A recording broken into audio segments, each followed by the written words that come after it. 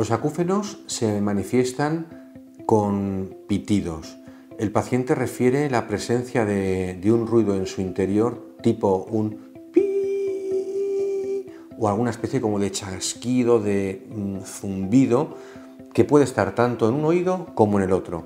Y muchas veces también se acompaña de una cierta pérdida auditiva, que llamamos hipoacusia, y de la molestia al oír determinados sonidos, que es la hiperacusia o alegiacusia.